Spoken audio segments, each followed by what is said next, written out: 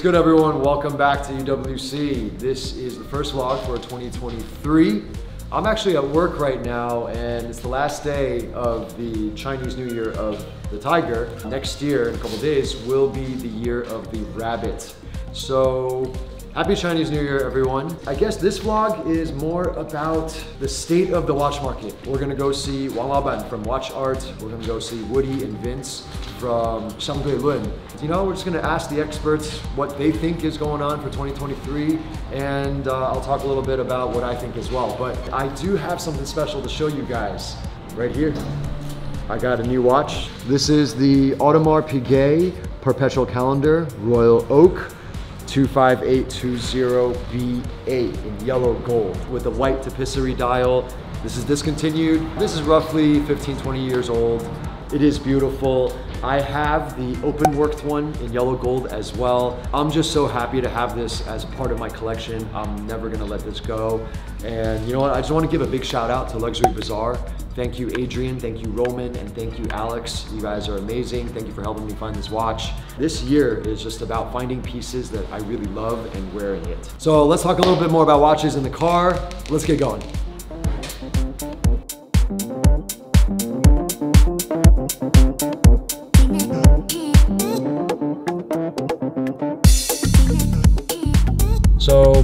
You guys know, we just asked uh, Woody from Xiangdui Lun and Wang Laoban from Watch Art.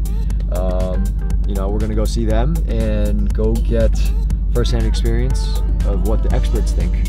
Uh, what I think is this will be a very, very interesting year for all sorts of watches. Um, obviously, all the hyped watches have died down. There's still demand.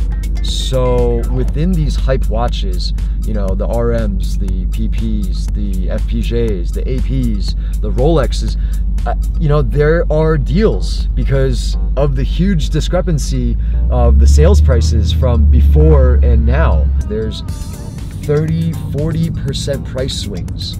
Because there's continued demand, a lot of these hype watches, you know, are still sought after and somewhere along the lines, I think this year they will stabilize. Eventually, the market does come back, but will it be as hot as 2021 and the beginning of 2022?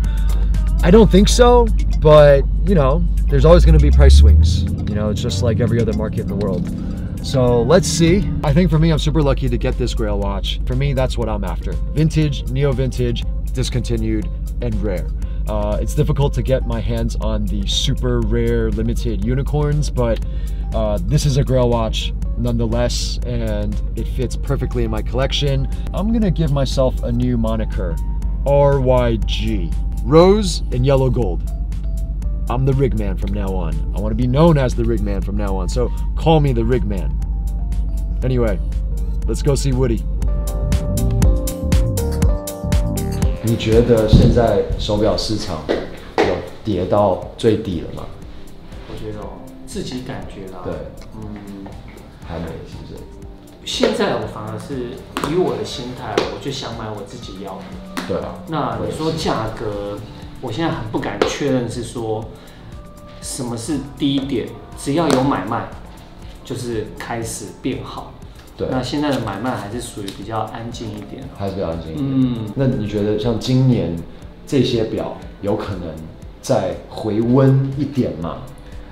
我觉得有可能，但是整个全球的景气其实都很乱嘛。对啊，对。你我们也猜不出第一、第二季如果正常的度过这个最低点，那可能第三季就是正式开始的，说不定就会好了。对，因为嘛，人性总是会到一个阶段开始享乐嘛，开始买自己要的。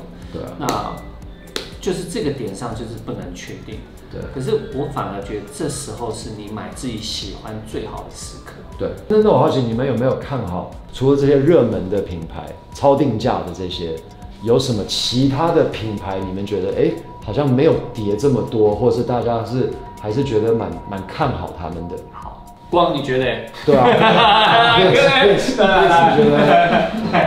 我们来脑筋急转弯。对啊，对啊。嗯，又要讲到我的品牌哦。一人讲。讲一个哦。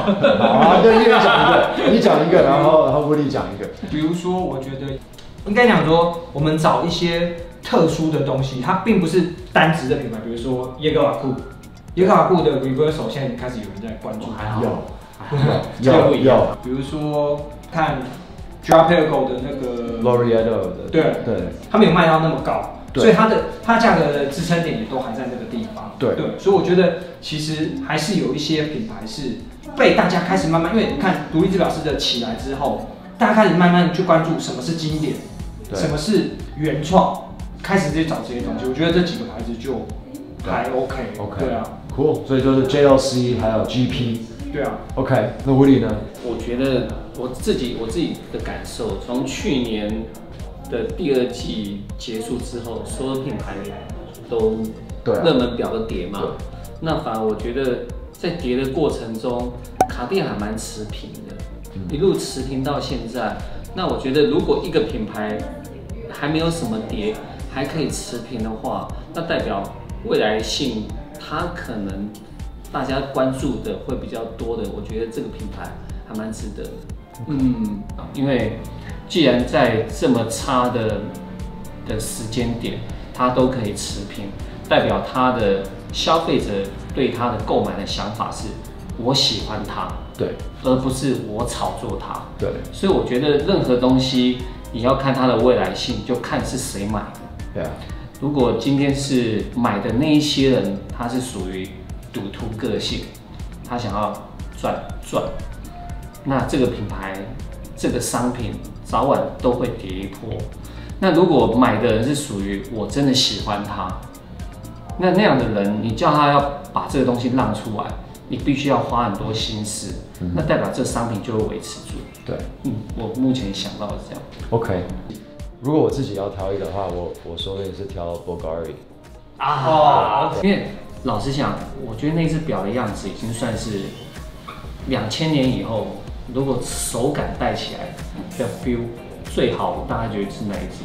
对，我真的觉得所以我觉得 Octo 是一个很赞的一只表，而且它又很薄，够薄，对，够我觉得薄对够薄，我喜欢薄的。对它虽然有一偏大，大但是我觉得够薄嗯就 OK。我觉得它的设计感跟它带的手感，对我觉得它还蛮认真在这点上。对啊，而且最主要是我觉得它价位，合宜啊。对啊，我觉得买不错啊是劳斯运动表，对啊，你知道你知对啊道意思啊？对啊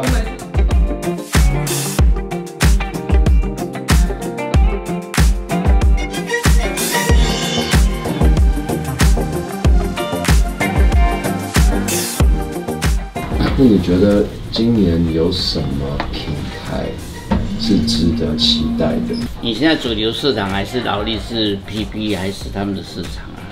你说江诗丹顿也好，AP 也好，还是什么其他品牌，如果它有很特别的的那个东西出来嘛，还是说有很特别的价格，让人家会心动嘛？对，不然应该以正常这样的去看的话，我看也很难，其他要超越也很难，这是很现实的问题。那你你二手表你卖得好，你才新表才撑得住嘛。啊，我买新的每次都卖不到钱，要下次再买我就不敢了嘛，对不对？啊，这个品牌是很重要啊！啊，你品牌人家有个信用啊，你看把他的东西都很很，至少我用十年也保值嘛，不怕不怕嘛。哎，那我好奇，像呃，积家、卡地亚、宝格丽这三个，你觉得？目目前感觉是那个宝格丽，它有有一些还算卖的不错，它有商品的特色，因为它超薄型的，算是卖的还不错，算是真的，它的表也做的蛮薄的，还实用，啊，价位也还好，也不算太贵。那卡地亚的表它好卖，它价格也不贵，但是就是要我收藏来讲就轮不上来。那那那他之前一九九七年到二零零七年，它有一个特别的部门在做一些复杂功能的，叫什么 CPCP 什么 Private 的那个，好像是巴黎工作室吧？对对，有一个巴黎的工作室，嗯对，在巴黎。那那些表生产出来，现在都现在已经十几年都没有了。那些表还可以吗？去去，现在感觉上那些表价格都贵起来，不像以前是不是？都都已经因为我发现。在拍卖场都都都有都有在拍卖 auction 的时候，在飞对啊利浦都都已经贵什么起来了这些都，所以那些是可以去，对，那些反而是会比那较好些反而还 OK 的。对啊 OK，好，You hear that？我有眼光哦，我有眼光哦。Yeah，you heard it from 王老板。Well, uh, I think I'm gonna end the vlog here. Uh, I got one more work day and then I'm off to Sydney and uh, I'll see you guys back here in Taipei on the next vlog. All right, keep supporting us. See you guys. Peace.